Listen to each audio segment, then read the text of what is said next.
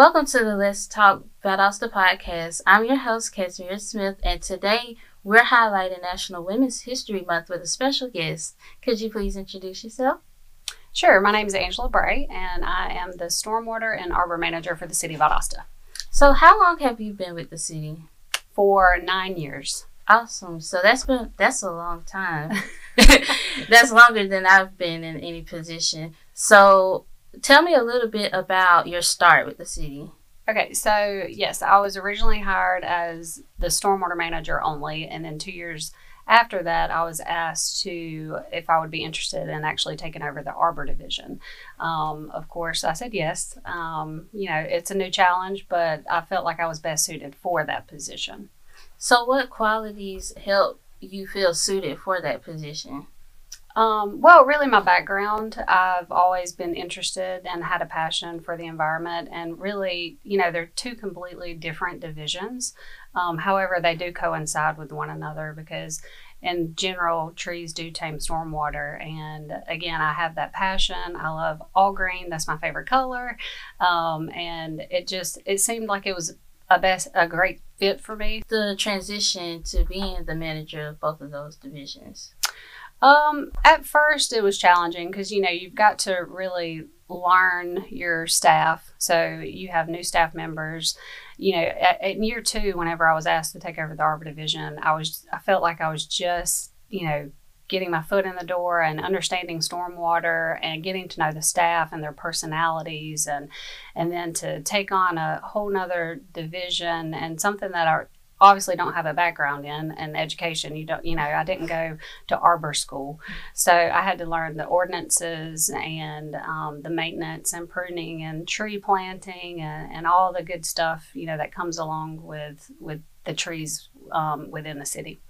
So i'm fairly new with the city and i've already worked alongside with stormwater and arbor and i can tell that the employees and your staff really respect you. So, how was that earning their respect? What qualities um, about your transition do you think helped with gaining that respect for the rest of your staff? Well, I think up front, you know, whenever I, I, first started, again, I, I knew what stormwater was and I knew what arbor was, but um, really I always said that it takes the person like two to five years to feel comfortable in a position. Mm-hmm. Um, but coming in, you know, I didn't know the details. I knew enough to get me in trouble. um, however, you know, the details of stormwater and the operation and maintenance side, I had, I really didn't have a clue. So, but I did set the tone up front. I was very transparent. Um, I, they know my expectations. Um, I set high standards, and um, really at the end of the day, I just want to bring out the best qualities in people um, and be an impact not only to you know within the staff and employees, but also within the community. And and I think that goes a long ways. Um, you know, we're not numbers, we're people, and um, so I know you know about their farm life on the side, their children, um, and I think you know having that compassion and empathy really goes a long way and has really worked well. And also, you know, coming in not knowing, I really wanted to learn from them. They're the ones who actually taught me. Um, you know, the saying goes, "You're only good at you're only as good as your team," mm-hmm. and I that really speaks volume for me because I wouldn't be where I am without you know the success of, of my guys and my team. Awesome. So, what quality about you that I learned recently is that you're a mother. So, what qualities about being in your role as a mother, does that help you in your day to day life with working with all men?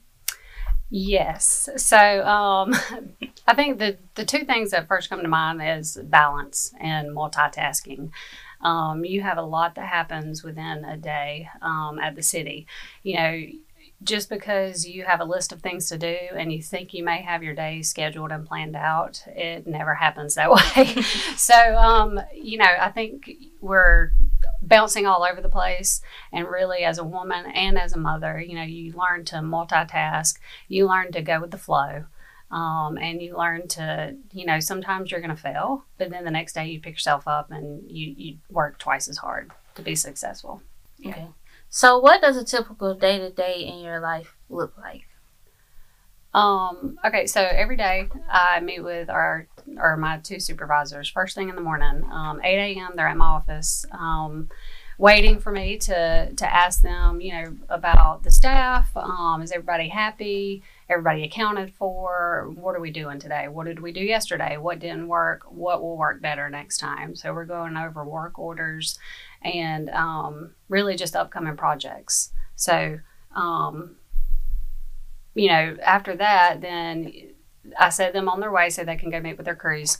And then also, you know, as a manager, I feel like customer service is top notch priority. Mm-hmm. Um, so I am on the phone with citizens, um, whether it's providing an update or to follow up um, with them on, you know, what's happening. We'll be there soon. This is why we're not there. Um, I really feel like that's big. And I've gotten great feedback and great response from people saying, wow, thanks for calling or thanks for giving me feedback. So I do talk to a lot of people on a day to day basis, whether it's on the phone or out in the field.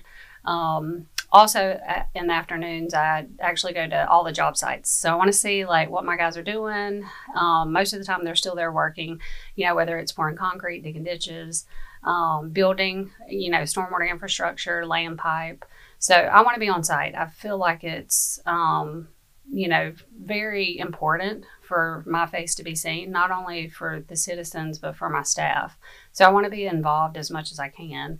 Um, although I do have to sit behind a desk a lot and, you know, and, and do the paperwork side. Um, you know, but trying to stay organized and making sure that, you know, we're staying on task and we're finishing things like in a timely manner. So I hear that you mentioned a lot about being in the field and showing your face, and you were talking about being up front in your initial transition to managing both of the divisions. Do you think that contributed to the respect that you built with the, among your staff? I think so. I because you know, again, like I'm upfront, I, I have expectations. Um, sometimes they not may not agree with them, um, but I send them monthly goals. You know, we have numbers to hit, we have things to do, and I feel like I, I hold them accountable. Um, as a manager, it is my job, you know, to bring out the best in them um, and to have them learn as much as possible, whether they stay at the city of Valdosta or whether you know they go. I want to leave an impact on their life really to to to do better and to to meet all their goals and to be successful. You know money isn't always everything. Knowledge is it'll get you a long ways. So what's one favorite thing that you like to do with your staff? Um so you know every quarter we usually try to get together um, to do like a you know a lunch. You know we'll um, i feel like it's important to get on that personal level as well with staff. Like I said, I, I know their their kids' names, what they do after work, um, what they do on the weekends. I ask, you know, how their holidays were, um, and that I think they really appreciate as well. So we do try to get together as often as we can, and not be work, work, work all the time. Um, just to get together and you know have lunch and sit down and, and discuss and talk and, and just you know be a family um, before we leave, we would like to learn a couple stormwater tips because the seasons are changing soon with spring and summer coming up. What are some tips that you could share with our listeners? Um, okay, yeah. So with spring and summer coming, so you have you have people wanting to spend time outside, wash their cars, get out in their yards and their lawn and work. So I think for stormwater, one of the biggest concerns and issues that we have are really, and it's a simple fix, is how people mow their grass. Um, you know, they tend to blow their yard debris out into the street. Well, once it hits the street, then that yard debris is automatically going to get into our system um, when it rains. So, which you know adds debris and can cause blockages. Um, so we do ask for citizens to, you know, be mindful when mowing their grass and to, and to keep the streets and curb and gutter clear. Also, you know, I like to get out and wash my own car. Um, it's just something that I've always enjoyed to do, especially um, in the spring and summer when it's not too terribly hot. But washing your car on grass instead of pavement, because um, you know, washing your car on your driveway or anything like that, the the water and the soaps can wash into the storm system. And as we all know, everything in the stormwater system goes into you know creeks and ponds, and which we have aquatic life and things like that. So. Um, fertilizer, you know, don't over fertilize, store it properly. Um, I think those are be- the biggest tips that I could give for the spring and, and summer. Well, I've learned a lot about you and both of the divisions today. So I wanted to just thank you for joining us today on the Let's Talk Valdosta podcast.